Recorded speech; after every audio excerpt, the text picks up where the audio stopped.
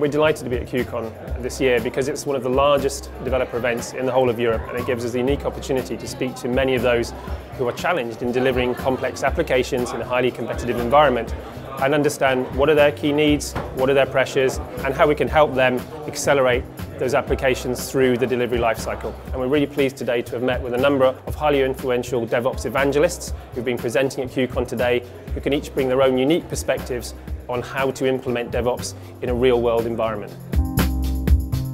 My name is Dave Farley. Uh, I'm the author of a book called Continuous Delivery. Uh, continuous delivery uh, is about the reliable, repeatable process of releasing software. It's about automating as much of the software development process as we can to get that reliability and repeatability. DevOps is seen as a, a, a, quite scary thing by companies that haven't adopted it on the whole. With some justification, it's a big culture change. Many people have spent many years, many years in their careers learning to do things in what I would call a suboptimal way. So it, it can be challenging. Um, however, there are immense rewards, and so even those companies that are not practicing it now are start, starting to view it and think that there's some, some value there and starting to explore it. Businesses are changing their opinion of IT through through DevOps. Um, businesses have moved from from traditional waterfall processes much more to towards agile in order to be able to respond a lot more quickly. DevOps is the next next component to that. It allows them not only to be able to build the software quickly, to be able to deploy it quickly, to be able to understand what's going on quickly, to be able to, to operate it much more quickly. And that is really key. I work at a small bank. It's a Scandinavian bank and it's, uh, we have offices in uh, Norway, Finland and Sweden.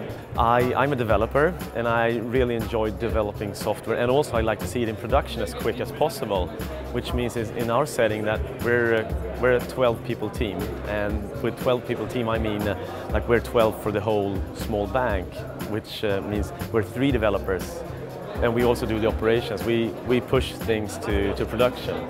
So in, in, in, the best of days, we come up with an idea in the morning and then deploy it in the afternoon. I think DevOps ultimately will win. It, it, it, it has a lot of the same smells that originally happened with um, Agile, and it has some of the sim similar smells with um, with cloud computing, where a lot of people thought, oh, well, I'm not going to go and put my stuff on uh, Amazon. Now you have all kinds of businesses that are now uh, utilizing not only their own Elastic infrastructure, but are utilizing external services. And I think DevOps is the, is the natural next leading on um, aspect of all of that. I am certain that in 20, 50, 100 years time, the best quality software development process will look something like what we call continuous delivery and DevOps these days. It will be iterative, it will be based on the scientific method, it will be um, establish feedback loops because that's the best way to solve hard problems and software is a hard problem. So yes, DevOps will win.